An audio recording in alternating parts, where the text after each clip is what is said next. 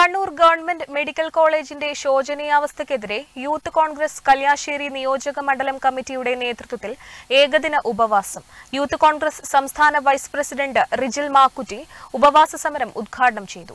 പാർട്ടിയുടെ കറവ പശുവാക്കി മാറ്റി പ്രവർത്തകരായ കുറെ ആളുകൾക്ക് ജോലി നൽകുക എന്നതിൽ കവിഞ്ഞ് പരിയാരം മെഡിക്കൽ കോളേജിനെ സംരക്ഷിക്കാനുള്ള ഒരു ശ്രമവും സർക്കാർ നടത്തുന്നില്ലെന്ന് അദ്ദേഹം പറഞ്ഞു. പരിയാരത്തെ കണ്ണൂർ ഗവൺമെന്റ് മെഡിക്കൽ കോളേജ് സുരക്ഷിതമാക്കുക. കാത്തലാബ് തകർത്തവരെ ശിക്ഷിക്കുക.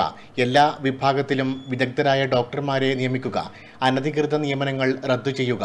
ഓപ്പറേഷൻ തിയേറ്ററിലെ ശോചനീയാവസ്ഥ പരിഹരിക്കുക തുടങ്ങിയ ആവശ്യങ്ങൾ ഉന്നയിച്ചാണ് യൂത്ത് കോൺഗ്രസ് കല്യാശ്ശേരി നിയോജകമണ്ഡലം കമ്മിറ്റിയുടെ നേതൃത്വത്തിൽ ഏകദിന ഉപവാസം സംഘടിപ്പിച്ചത്. യൂത്ത് കോൺഗ്രസ് സംസ്ഥാന വൈസ് പ്രസിഡന്റ് റിജിൽ മാക്കുറ്റി ഉപവാസ സമരം ഉദ്ഘാടനം ചെയ്തു. മെഡിക്കൽ കോളേജ് സ്ഥാപിക്കുമ്പോൾ എതിർത്തവർ ഇന്ന് ഭരണത്തിലെത്തിയപ്പോൾ ഇതിനെ കറവ പശുവാക്കി മാറ്റുകയാണെന്ന് റിജിൽ മാക്കുറ്റി കുറ്റപ്പെടുത്തി.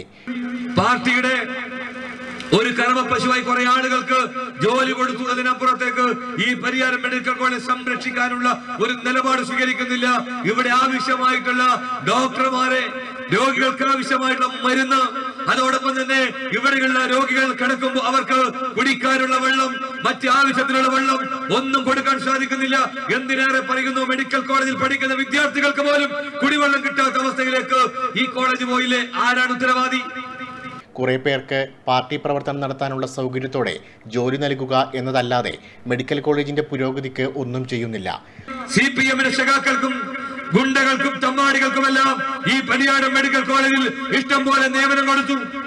ഇതിനകത്ത് ജോലി ചെയ്യുന്ന പല ആളുകളും എടുത്ത് പരിശോധിക്കുമ്പോ പാർട്ടിക്ക് വേണ്ടി പണിയെടുക്കുന്നവരാണ് പരിയാരം മെഡിക്കൽ കോളേജിലെ സ്റ്റാഫ് എന്ന പേരിൽ പാർട്ടി പണിയെടുക്കാൻ ഒരുപാട് ആളുകൾക്ക് തീറ്റിപ്പറ്റുന്നതിന് വേണ്ടി ഇതിനെ സി പി എമ്മിന്റെ കറവ പശുവായി വർഷങ്ങളോളം ഇവർ ഉപയോഗിച്ച് മുമ്പോട്ട് പോകുന്ന കാഴ്ച നമ്മളെല്ലാം കണ്ടതാണ്. പയ്യന്നൂരിലെയും തളിപ്പറമ്പിലെയും കണ്ണൂരിലെയും സി പി എം നിയന്ത്രണത്തിലുള്ള സഹകരണ ആശുപത്രികൾക്ക് വേണ്ടിയാണ് പരിയാരത്തെ കണ്ണൂർ ഗവൺമെന്റ് മെഡിക്കൽ കോളേജിനെ നശിപ്പിക്കുന്നതെന്നും അദ്ദേഹം പറഞ്ഞു.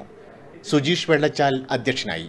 Manoj Kaithapram Rahul Damodaran V Rahul Sudheesh Kadannappally K P Janardhanan തുടങ്ങിയവർ സംസാരിച്ചു. Network news Pilathara.